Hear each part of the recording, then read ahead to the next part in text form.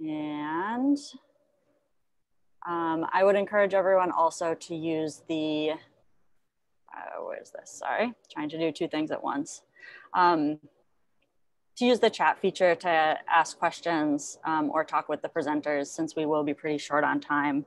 Um, and as a reminder to the presenters, I will be offering uh, 30 second reminders. Um, so we have five minutes for the session introductions and two minutes for each of the lightning talks. Uh, so it should be an exciting and, and fast paced meeting and thanks everyone for joining. Um, uh, Natalia will be our first speaker. Yeah, so I'll just say the first three presentations are session, four presentations are session overviews, and then um, and then we're going to go into um, individual talks. So yeah, go ahead, Natalia. Hello, everyone. My name is Natalia Kramarova. I'm from NASA Goddard, and today I will present a session, AGU session, atypical polar stratospheric winters in 2019 and 2020, causes and consequences. I am chairing this session with Irina Petropavlovskikh from CIRES Boulder and with Diego Loyola from DLR Germany. We will have our session, so we will have poster session and e-lightning session. Both of these sessions will be on Wednesday, December 16, and e-lightning session will be between 8.30 a.m. and 9.30 a.m. Pacific Standard Time. We ask authors from our session to give us uh, teaser slides, and I will present you six slides today, and it will give you a very good overview of topics that we will discuss in our session. Next slide, please. So this slide is provided by Zachary Lawrence from CIRES Boulder, and he will talk about the remarkably strong Arctic stratospheric polar vortex of winter 2020 and its links to record-breaking Arctic oscillation and ozone loss. So if you want to know how Arctic oscillation is related to um, above average surface temperatures in 2020 and um, significant ozone losses, you need to see this session, uh, this talk and his talk will be e-lightning talk at 8.36 Pacific Standard Time. The next slide, please. This slide is provided by Jezabel Curbelo. She is from University of Catalina, and she will have a poster. And um, in this study, they looked at multi-level description of the Arctic polar vortex during April 2020. They focus on time period where the polar vortex split it into cyclonic vortices and they use Lagrangian tools to um, to see how um, air parcels split between the two vortices and try to find connections between uh, between them and uh, ozone fields. The next slide, please. The next slide is provided by Matthew DeLand from SSI NASA Goddard. And this study um, is looked at polar stratospheric clouds variability during the Northern Hemispheric winter 2019-2020 with OMPS Limb Profiler. And uh, Profiler observations uh, show unprecedented amount of polar stratospheric clouds, particularly in March 2020, which is directly linked to um, significant losses in Arctic low stratospheric ozone. Uh, and he will have a lightning presentation. The next slide, please. The next slide is presented by Mark Weber uh, from University of Bremen, and he will have a poster titled um, The Unusual Stratospheric Arctic Winter. In this study, authors look at, uh, at um, satellite measurements from Sentinel-5 TROPOMI instrument and also at the analysis data and model simulations with Tomcat CTM model to quantify ozone losses in Arctic stratosphere. The next slide, please. The next slide is provided by Lawrence Coy and um, from, from NASA Goddard. In this study, they looked at forecasting of low column ozone in winter 2019-2020 in Northern Hemisphere with the NASA GEOS model. The GEOS CF that stands for um, composition forecast demonstrated very good pre prediction capability. uh, particularly in March, it predicted ozone loss uh, in four, five-day forecast in contrast to standard GEOS forward processing systems that predicted ozone increase over the same period of time because it tends to go back to climatological values. And the next slide, please.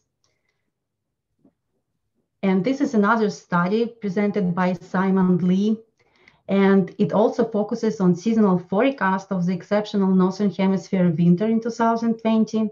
In this study, authors look at six different seasonal prediction systems.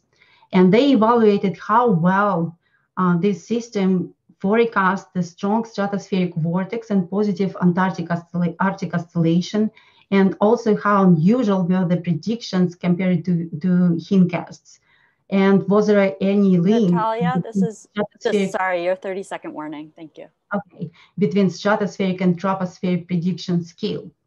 So if you want to know answers on all these questions, you need to uh, look at this e-lightning presentation. And we invite you to join our session, which will be on Wednesday, December 16. Thank you so much for your attention. Hi, everyone. So uh, my name is Minghui Diao. I'm from San Jose State University. We have two AGU sessions. One is oral, one is a poster, and our title is Microphysical and Macrophysical Properties and Processes of Ice and Mixed Phase Clouds and we feature a variety of uh, technology to measure or simulate these clouds, including in situ observation, remote sensing observation, and multi-scale models. So for the oral session, it is on Monday, December 7, and it is uh, Pacific Standard Time uh, in the afternoon from 4 to 5. We have eight talks. And the poster session is on Monday. Uh, it is actually a whole day long on, on December 7th. And you can actually talk, chat online with the uh, speaker for poster presentation. We have 14 posters in total. So there are three other conveners for this session, Yu Gu from UCLA, Xiaohong Liu from Texas A&M, and James Campbell from NRL. Next slide, please. Uh, I only listed uh, the name of the talk because I, I, think there are a lot of information, but you can use the link that I gave to you in the previous slide to check them out. So for the oral session, we have eight talks. And for this year's AGU, I want to mention that only an overview will be given during the oral session. That means that you would have to check out the 15 minute longer talk on your own time before the uh, session starts. So during the virtual session, each talk will be four minutes. And the first two talk are actually about Cirrus Cloud. So the third talk, which is given by Xiaohong Liu from uh, University, uh, actually now he's at Texas A&M, that is a Arctic talk. He, he will be talking about impacts of high latitude, local and long range transported dust on Arctic mixed with clouds through heterogeneous ice nucleation.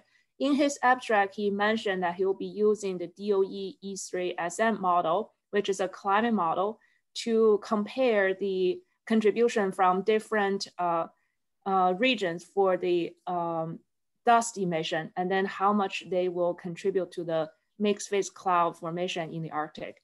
Another Arctic talk is given by uh, Alexei Korolev, and this is an invited talk. So he will give a summary of all the current understanding on mixed phase clouds. And in his talk, I believe he will also feature the Arctic clouds for both observation and simulation. And the next talk uh, that will be talking about Arctic clouds is uh, given by Bart Geerts from University of Wyoming. He will uh, mention, he will focus on the microphysics and mesoscale dynamics of marine boundary layer clouds in cold air over open water. His abstract actually mentioned two uh, DOE campaign, Marcus, which is over Southern Ocean, and COMBLE, which is in the Arctic. So he will be talking about both field campaigns. Another one is given by Israel Silber from Penn State. Uh, his title is Prevalence of Precipitation from Polar Supercooled Clouds in Observations and Models. And he will also feature both Antarctic ground-based observations and Arctic ground-based observation. And he will be comparing with some of the NASA uh, climate model. Uh, so we will have four talks in total in the oral session. And next slide, please. For the 14 posters, this is all of them, and I highlighted the Arctic related posters, uh, starting with Rosa Gierens, and she's actually uh, from University of Helsinki, and she will be talking about investigating microphysical processes in Arctic mixed phase clouds using cloud radar Doppler spectra. So this will be using a suite of ground-based measurement to analyze the microphysical properties of Arctic clouds. The next one is given by Tyler Byron. Uh, he's actually a first year graduate student at San Jose State. So he will be using some of the ground-based observations to uh, analyze clouds in the high latitude. And another one given by August Mickelson from University of Washington. This one is using uh, both Raman LiDAR and space LiDAR to analyze mixed phase clouds uh, featuring the extinction profile. And the next slide, uh, sorry, uh, next talk, Paul McGlynn. That one is about impacts of ice particle shape effects on Arctic mixed phase cloud presence. And particularly, this is a unique talk because um, this will talk about how temperature will influence the ice shape and uh, how current simulation would overlook some of these uh, impact and probably influence the radiative effect. And for the uh, next and one. This is we... your 30 second warning. Thank you. Oh, sorry. I'll just quickly go through. We have a few other talks, such as a balloon holographic instrument, also about Arctic clouds. And we have another talk um, for Florian Tornow, that, that's a uh, LES simulation. And this is actually about a campaign called Activate. And she will uh, summarize what has been learned from the campaign. Meng Zhang will be talking about the uh, E3SM model, again, a DOE model, and how the low-level mixed phase cloud is being represented in it. And uh, Huiying Zhang will uh, show orographic effects on mountain Arctic mixed phase clouds. So uh, please feel free to check out these posters in advance because they should already be posted by the end of this Friday. Thank you. Thank you.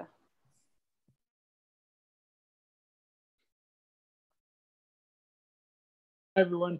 Uh, this is Gijs. I'm just going to give a quick introduction to our uh, session on UAS and atmospheric research. This is not an Arctic specific session, but there are quite a few um, Arctic centric presentations and you'll hear about a bunch of those in just a few minutes. So I'm not going to provide too many details, but our session is uh, December 7th on Monday, and we have one oral session with eight talks from 4 to 5 p.m. Pacific time, and then a poster session on the same day, which goes the whole day. And as was mentioned earlier, you can chat with the um, poster presenters and just check out the posters when you have time.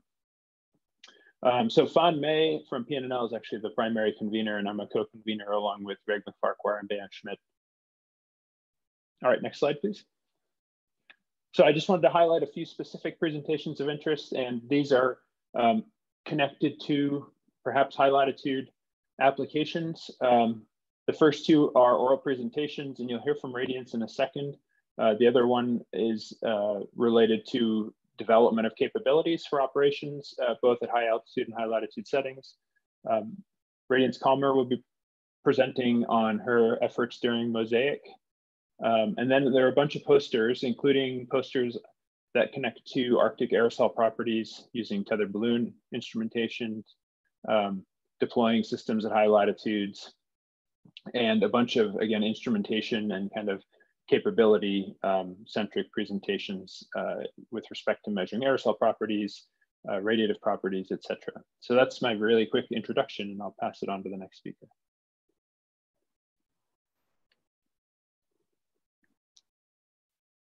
Thanks, Gijs. Uh, Mindy, are you there? Yeah, can you hear me? Yep, we can hear you. Hey, thanks for um, allowing us to try to advertise our session. It's on extratropical superstorm classification impacts and trends. Now this, is gonna, isn't specifically for the Arctic, but it definitely will have implications for the Arctic. I'm the primary um, convener, but with Matthias Jacob from uh, local engineering company, Michael Dettinger um, uh, from Scripps had been with USGS and Dale Cox. Um, and Ruping's also going to be a, oh, can you go on to the next one? Ruping's going to be a co-chair. And this is just an introduction to the session. Um, we have lots of issues with trying to identify how do we categorize storms. We'd like to classify them, but we're trying to compare them with what other people are saying. Let's go to the next. This is just an example. Um, the top one is uh, Mar Martin Ralph. He, Marty Ralph is going to be talking in our session, and he's and his team at uh, UCSD has developed a, and NOAA uh, an atmospheric river scale. We've adapted that to try to include extratropical storms, and we'll be talking about our work. And there's a number of people um, from around the world that'll be talking on aspects of this. I just showed an example. Uh, the lower left is using the Japan reanalysis, classifying storms from one to five based on integrated vapor transport, as Marty had done. And Alex Cannon from our Victoria office has shown how many, how often we get storms of different categories. And then we ran it from 7,000 simulations um, for 150 years. And it, all of these keep showing that we're getting much stormier and we're on the cusp of it. So these are really important and these are punching their way into the Arctic. Can we have the next one? And this is a storm we have right on our doorstep that's coming tonight. We Rita did this up for you guys. You can see how this, this storm with a long um, moisture stream is aiming up towards the Arctic. And sometimes they actually punch all the way through and give freezing rain all the way as far as Tuktoyaktuk. So what we're, we're trying to do is rate them. We're trying to get a good discussion on how this should be done. And uh, let's go to the next. Sorry, I'm going through this fast, but um, here are the, you probably can't read all of these, but come and join our session. And we have about eight uh, posters and it's an innovative new way of trying to share the information. It's on um, December 11th and we have two invited speakers. Ruping Mo will be talking from our uh, Canadian um, Research and Development Office, and Marty Ralph also will be talking. But we have speakers from Pradeep from India and Lutien from Brazil. And um, we have our forecast center and uh, River Forecast Center.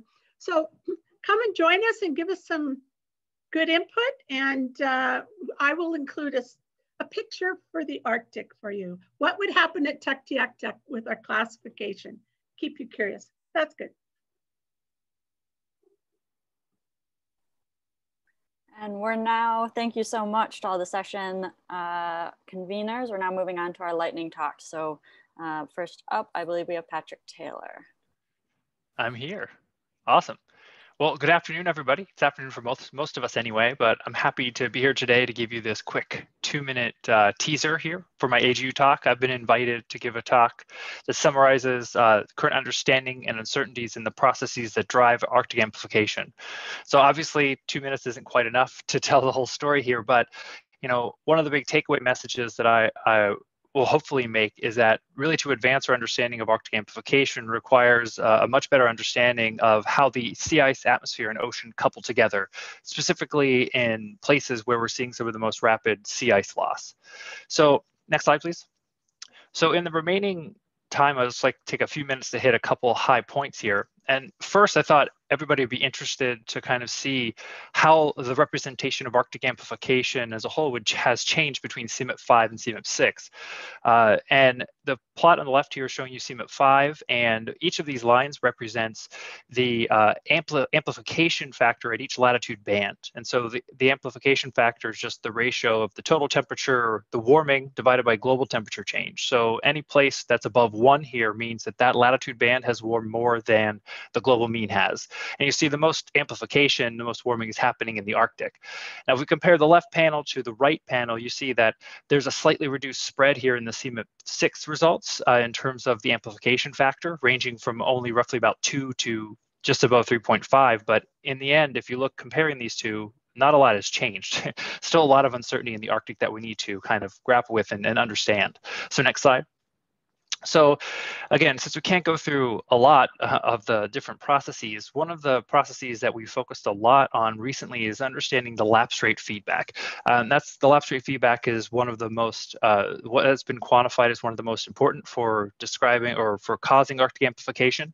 Um, and it it comes about this is your because of 30 second warning. Sorry. Thank you. It comes about because of the sensitivity of the atmospheric fluxes, both going to space and to the surface, because of the, the sensitivity of that to the temperature profile. So what you're looking at here is the uh, upper left corner showing you the spatial distribution of the lapse rate feedback. And what we find is that it's much stronger in places that have uh, over, over the sea ice and places that lose more sea ice. Um, and the bottom left corner here is showing you the different contributions to from the surface temperature changes versus just the atmospheric temperature changes. And so what we learned from this is that the lapse rate feedback is strongest in fall and winter, and that it's primarily driven by the processes that are driving the surface temperature change, not the air temperature change. Last slide, please. And then uh, there's a hypothesis that the lapse rate feedback is a stratification mediated feedback whereby the lower tropospheric stability, a stronger stability means a stronger lapse rate feedback. Well, in our paper, and then I'll discuss more in our AGU talk, um, we found that this, uh, we haven't found any evidence for this. In fact, we find that the lapse rate feedback um, is really a, uh, a, feedback. that's a seasonal regional phenomenon that's governed by multiple processes uh, and not just a single Patrick, process. I'm Thank gonna you. have to ask people to join your uh, poster session. Thanks so much. I know it's a it's a short time frame, um, but I do want to make sure we have time for everyone. So, thank you, and uh, Shima, you are available. everyone. Uh, my name is Shima Shams, and I'm a PhD candidate at Washington State University working with Von Walden. Uh, my AG presentation covers a part of my PhD with the focus on ozone variation and analyzing the associated transport mechanism at higher latitudes over sudden stratospheric warming events. Next slide, please. So I think this uh, flowchart can be helpful to show different parts of the study and the full presentation. Uh, knowing the high, knowing the possibility of higher uncertainties of models in high latitudes, we decided to conduct a comparison before diving into the investigation of ozone fluctuations. Uh, we use ozonesondes from four stations and solar FTIR from five NDACC sites uh, to do the comparison. If you click next, we see a zone. And so, and because of seeing uh, a different, um, a strong influence of QBO over Greenland. Uh, all the analysis that I will say are applied on both zonal average and a, zonal, and a regional average. Um, so once we uh, once we finished the comparison, we, we, we looked into the composite analysis of temperature, ozone, potential vorticity, advection, and eddy terms. Next slide, please. So here I just focus on two of our plots to have a glimpse of the project. Uh, we're looking at the cross section of ozone anomalies 40 days before and 60 days after the sudden stratospheric warmings. And uh, we can see the increase of ozone right around the SSW incident and lasts for a long time, almost two months. Uh, you can see the magnified impact over Greenland sector uh, compared to the average. And the only parameter that I had time to show here is the average PV uh, during 40 days before the warming, which shows us the quick look at the difference of these events. Um, unfortunately, And this is your 30 second yeah, warning. enough time to go through Oops, that, but sorry. yeah, we can, uh, I hope to have more discussion um, with the actual talk. Thank you. Hi, everyone. Um, I am Erin McLean with the Arctic Data Center, um, and I'm plugging my poster slash e-lightning section um, all about the Arctic Data Center. So next slide. Um, we are the Arctic Data Center. Next slide. Um, we help the research community pr- reproducibly preserve and discover all of these NSF funded science in the Arctic. So whether you are a natural scientist, whether you're a social scientist, all of your data, metadata, software, documents, and provenance uh, can go into the Arctic Data Center. That also means that if you don't have data to deposit yourself, there's also all of that data for you to take a look at. Next slide. Uh, we offer a number of features and services for researchers. Uh, we are a data archive first and foremost, um, but we're also that data discovery portal. We offer tools and infrastructure like um, an easy to use metadata editor, um, as well as support services like how to tidy your data for um, deposit into a repository. Um, I also do a lot of training and outreach. That's my whole job. Um, and we also do data rescue operations. Next slide. Um, currently, this is our state of the repository. We have over 6,000 data sets comprising over 700,000 data files. Um, and so all of this data is at your fingertips as researchers, um, as well as folks who are interested in the Arctic. Um, I try to encourage folks to take a look at the catalog for opportunities for collaboration um, for opportunities to expand your analysis and for opportunities to do some synthesis research. We all know that this data is very expensive and time consuming to collect. Uh, so the more we can do with it, the better. Next slide. Um, we have a number of different disciplines represented in our repository. Um, oceanography does seem to be the most popular. Um, I think that's likely just due to um, some of the remote sensing operations, but atmosphere, of which, of course, this is the subgroup, is the second. Um, so we have a number of options for you all to take a look at that different data by discipline. Next slide. Uh, this is what the data discovery portal looks like. You can search by a number of different attributes. You can actually click and zoom in on the map if you're inter interested in a particular region, or you can search by person who created it, the year, um, if you know the DOI or a specific taxa that you're interested in. All of that is available to help narrow down this large amount of data set. Next slide. And we are um, running close on time, so. Okay, uh, perfect. This is my this is my last thing, I think. Um, we also just added a brand new feature where folks can register citations. Um, so if you know that one of your data sets in the Arc Data Center has a citation paper associated with it, please register it. Um, that way you're able to get more credit for the work that you do and hopefully increase viewership on your data sets and your papers. And I may have more slides, but that's probably the important bits. Come see my, my poster. Thank you. Thank you. George Burba. Hello, my name is George Burba. Can you hear me now? Yes, sounds good. Okay, great. Uh, so I'm a science and strategy fellow at LI-COR Biosciences, and I'm also fellow at International Water for Food Institute and adjunct professor in bioatmospheric sciences at University of Nebraska. And with a large group of people, large group of co-authors, a lot uh, of them from University of New Hampshire, we were developing the large proposal for NSF mid-scale infrastructure. So it's about $50 million expansion of NEON uh, to measure methane. And of course, it covers a lot uh, in Alaska and polar regions. Next slide, please. So the uh, biggest issues are large uncertainties and inability to model and predict methane emissions globally the significant discrepancies between uh, bottom-up and top-down estimates. And both of these are complicated by continuous human activities changing the picture. So next slide, please. So we are seeking uh, input from the community, from HEU on uh, primarily these three questions. How climate change and land management impact sinks and sources of methane?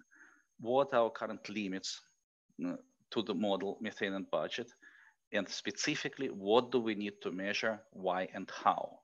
We've been planning it for half a year now, but we really don't want to miss anything important, and hence this town hall. Next one, please. So please join us and tell us what we missed, if we missed anything, and what you'd like to see in this expansion, in this proposal. Uh, so these are uh, direct measurements of methane emissions based on NEON infrastructure, but not limited to NEON infrastructure. Thank you. Excellent. Thank you, George. Satyaki? Yep. Uh, hello, everyone. I'm Satyaki Das. You can see my research topic on top of this slide. And on the right, you will see a beautiful picture of my lab with the LiDARs operating at Poker Flat Research Range. So the green beam is from the Rayleigh LiDAR and it we use it to know about the gravity wave activity in the 40 to 50 kilometer region. And the yellow beam is from the Doppler shift sodium LiDAR that helps us to know about the gravity wave activity in 85 to 95 kilometer region. That's the mesopause region.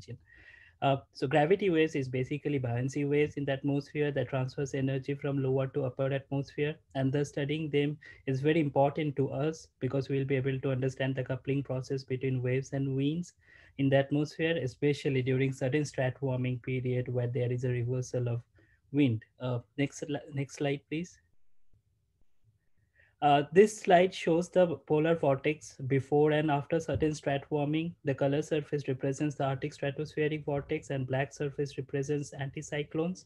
And you can see on the left side image that the vortex is intact before SSW, but it gets split during sudden strat warming. That's on the right side image. Uh, due to the planetary waves activity. Now the vortex breakdown modifies the winds and the winds changes the circulation.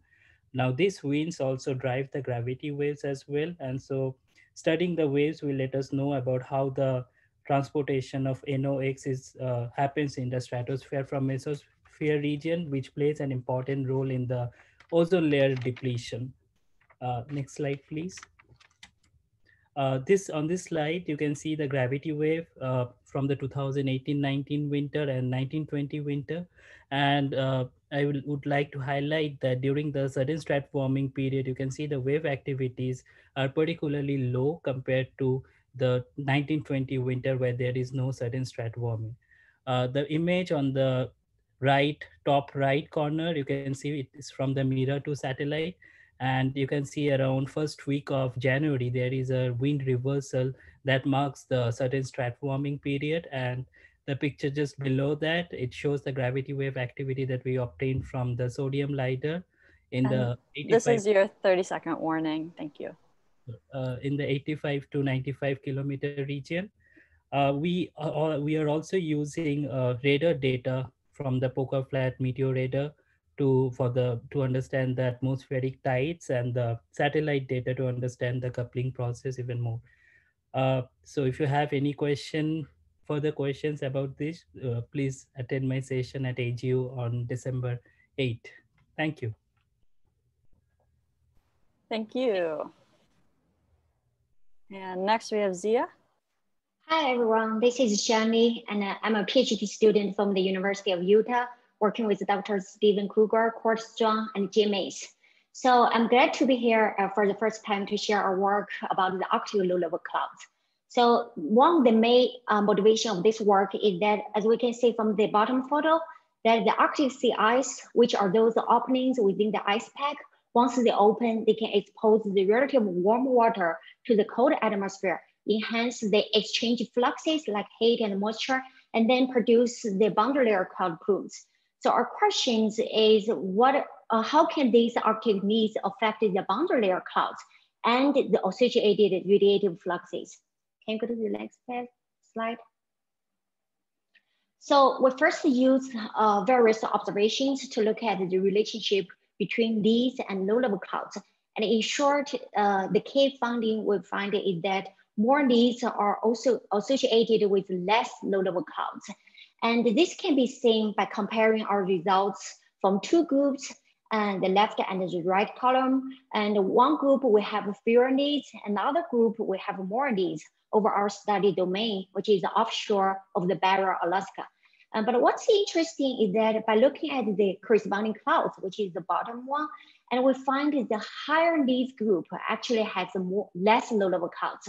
So this is actually contrary to the conventional assumption which we believe the more these are accept, expected to result in more low-level clouds. So we also use the LES simulations to understand why it happens this way. And more details can be found in our poster, uh, which is in Dr. Minghui Diao's section. Can we go to the next slide? So next, uh, we checked the long wave radiative fluxes for two groups and our preliminary results, which are shown here, that there is a large difference in the net long wave surface flux between these two groups. And this suggests that this difference in the long wave fluxes can affect the surface cooling and also the refreezing process of the open lead. And yeah, I'll stop here and thank you. Thank you.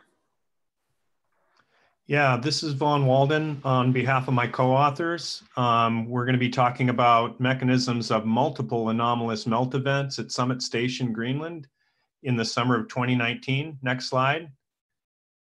Um, we know that Greenland, that the melt of the Greenland ice sheet is important for sea level rise, but it very rarely melts. Um, the surface snow very rarely melts at Summit Station, which is up at 3,200 meters above sea level. Um, ice cores from this area have shown um, only 50 such events in the last 10,000 years. However, there have been five um, melt days or days that it's melted in, in um, seven years, one in 2012 and four in 2019. So we're really interested um, in examining this 2019 event where we had um, multiple melt events, one, one in June and then three days of melt conse in consecutive days at the end of July to look at the questions of um, are subsurface snow processes important during these events? Um, basically, we've been having trouble kind of reconciling the surface energy budget measurements. So we're interested in what's going on below the surface. How well can we measure these events? What are the important parameters? And then how well can we model them? So if you go to the next slide, just a teaser of some of the measurements on the left. Um, one of the things that we were seeing is uh, during the July event, we had the surface skin temperatures go above freezing. Um, we're, we're seeing uh, on a couple of days where the, the skin temperature is, is at 1.5 Celsius rather than what we would expect of, of it being at, the, at zero C. Um, and the just to let you know that the clouds and the net radiation and the turbulent fluxes during these events were really unremarkable. And so we're really interested in what preconditioning might be occurring to set up the, the actual melt. The second middle column shows um, the model results that we've done um, using a, a, a model um, that's similar to the community firn model.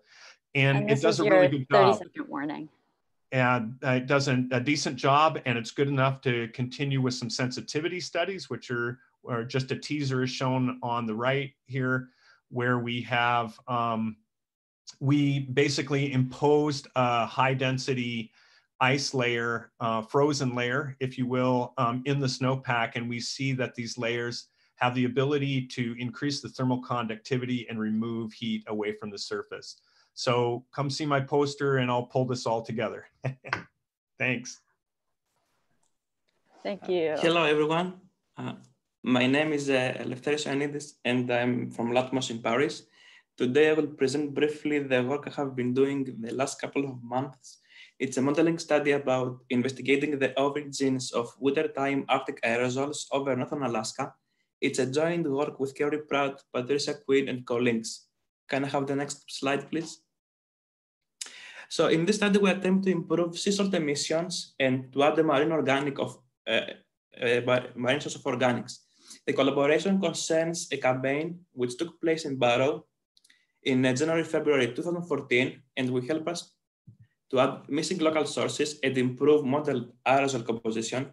In this figure on the left by Kirpes et al., briefly, we see that the resembles were influenced by Open Ocean, uh, Open Ocean Fresh SSA and Prudhoe Bay oil field organic sulfate aerosol.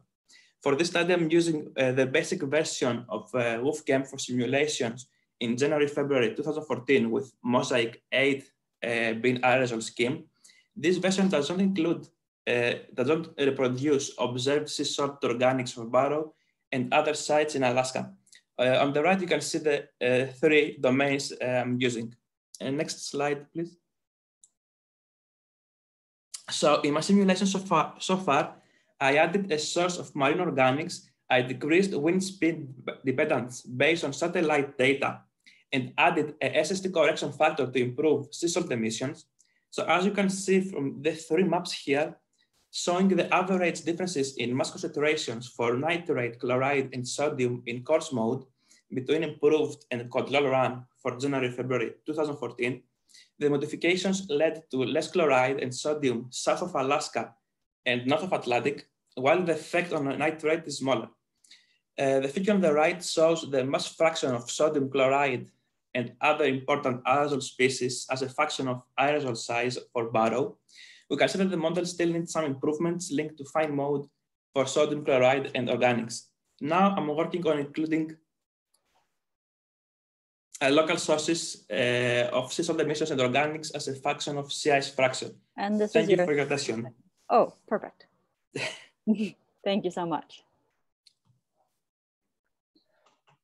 Hi, everyone. I'm Ben Kopec. I'm a postdoc at the University of Alaska Anchorage. Uh, here in at AGU, I'll be presenting a series of initial results from our Developing Arctic Water Isotope Network that has been a long time in the making. Uh, over the past several years, we've been installing a suite of water vapor isotope analyzers at a number of land-based stations uh, around the Arctic to pair with observations on board the Polarstern during the Mosaic expedition. Next slide, please. With this network, for the first time uh, at this large spatial scale, we are able to observe water vapor um, that's moving from one region to another and measure the isotopic changes uh, along the way. This really, uh, this sort of network is a dream come true for the isotopic community and will dramatically expand our ability to examine a variety of questions of the changing Arctic water cycle. Uh, here, the focus of ours is examining the changing ocean ice atmosphere interactions resulting from the loss of sea ice. As the sea ice cap on the ocean surface is removed, local evaporation is uh, allowed to take place, and that new moisture can be incorporated into the uh, primary storm tracks moisture pathways. Uh, next slide, please. This locally sourced moisture has a unique isotopic signal, so we're able to quantify how much moisture is, is added along these key pathways.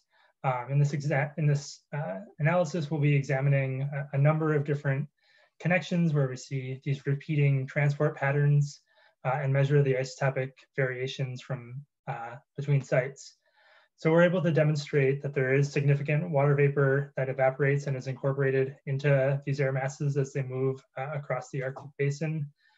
Uh, and we can show that the amount of moisture added is related to how much sea ice is present in a given basin, such that when there's less sea ice, more moisture is added. Uh, additionally, we can see that there are significant uh, spatial variations in just how large the sea ice influence is. Um, and so in our AGU presentation, we'll be looking at a, a, number of these different site connections that we can make with our network and examine the spatial variability. Thank you.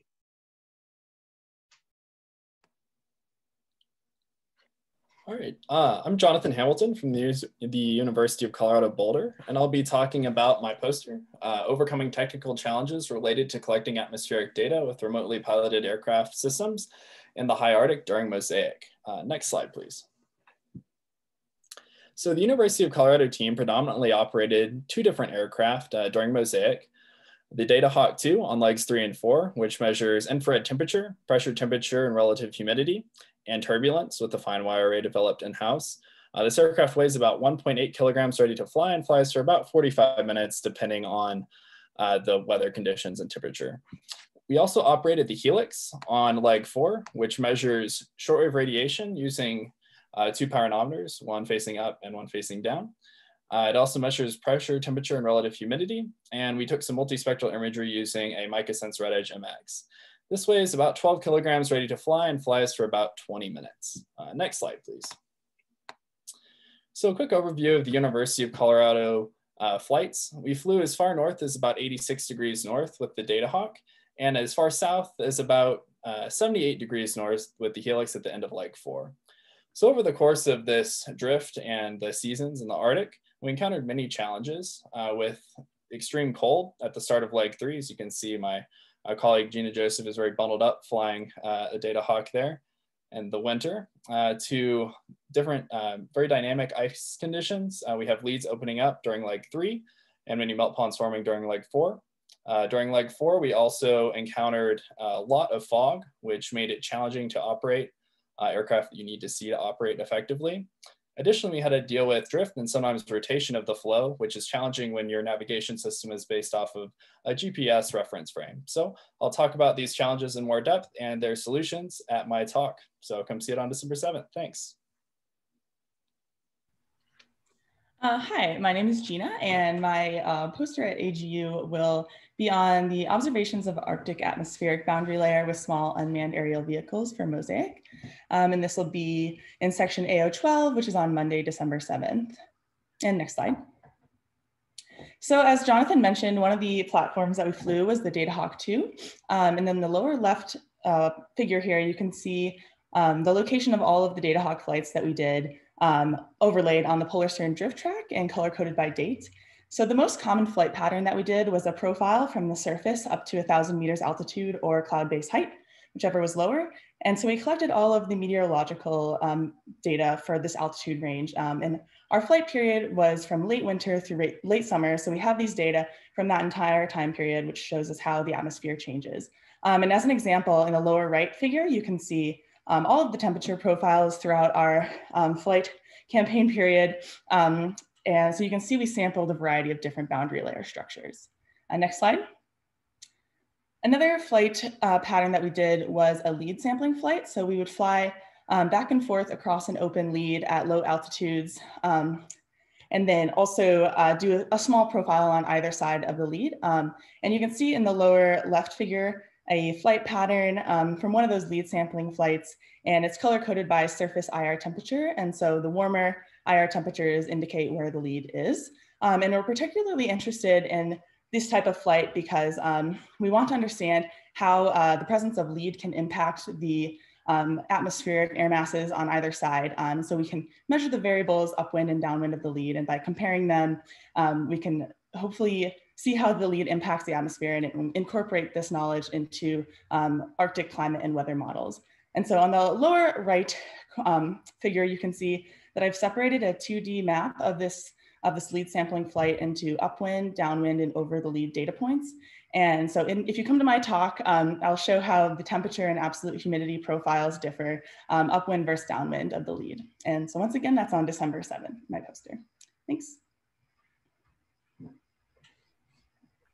Hello, uh, I'm Radiance Calmer from the University of Colorado, and I was also part of Mosaic Lake 4 during the melting season. And this talk is going to be very complementary to uh, Jonathan and Gina's presentation.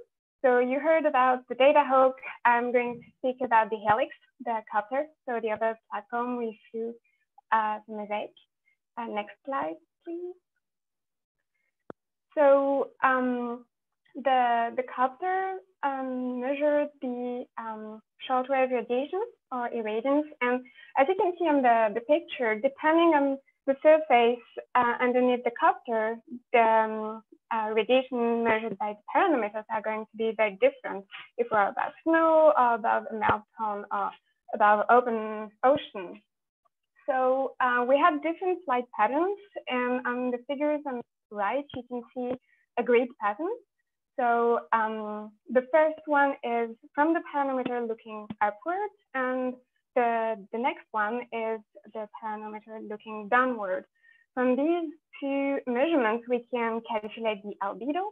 And what is really interesting is when we compare the, um, the albedo measurements with the, um, the pictures. So the, the map on the bottom right is actually created from all the multiple pictures uh, taken by the multispectral camera. So we have a kind of a, a map of the floe. And we clearly see um, that the part when the albedo is um, higher corresponds to a part with like um, larger snow snow patches. And then when the albedo is lower, it's uh, like a big melt um, in the middle of the, the grid. So um, this is just an example of our measurements with the copter. We have um, more than 30 flights of grid pattern but also when we want to uh, specifically quantify the albedo over surface. So for example, over white snow or over melt pond. And we also have um, vertical profile to understand what is the influence of um, altitude on the albedo. Um, this, um, these measurements will be also uh, compared with other albedo measurements because during the Mosaic, there are uh, different teams operating uh, pyranometers for shortwave radiation. So and this is uh, 30 really second warning. We're really looking forward to um, our entire comparison because um, some measurements are on fixed points on the sea ice and then um, the copter provide uh, like um, pressure covering surface. So if you want to hear more about um, the Kepler measurements at uh, the AGU, so that will be uh, a presentation on uh, Monday, 7th of December. Thank you.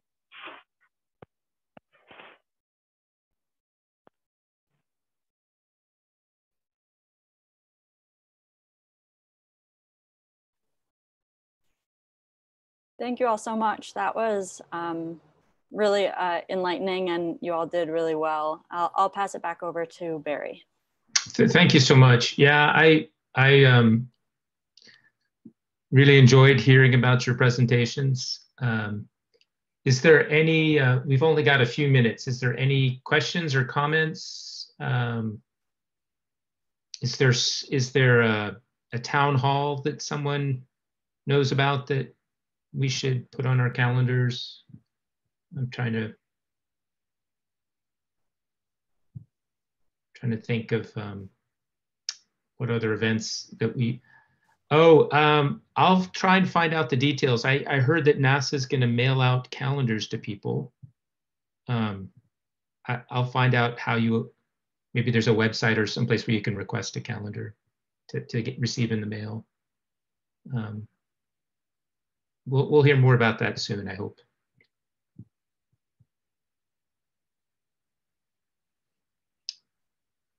Jennifer, uh, well, Jennifer's um, not in a good place to talk. Um, Heist, did you have anything or did you have to run to another meeting?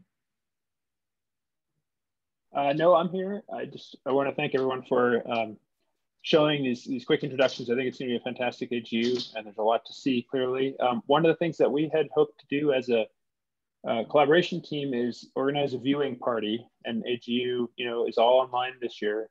So we were going to try to highlight a couple of Arctic atmosphere specific sessions and um, invite everybody to, to watch those together if they can uh, from the collaboration team. So keep stay tuned for, for information on that. And clearly if you're convening a session, uh, please get back to us and we will make sure that, that we try to highlight those sessions. Yeah, if you want to vote, if you if you if there's a particular session, I think we got all the main sessions that were Arctic related. Okay. So it'll likely be one of the sessions that we we highlighted here. Um, um, well, all right, everyone, have a wonderful um, week. We just have a few more days to get our AGU talks together. Um, I know I'm working on mine. Um, still have some work to do. All right, everybody. Thanks again. Take care. Thanks everyone for your time. We'll see you soon. thanks. Great talk.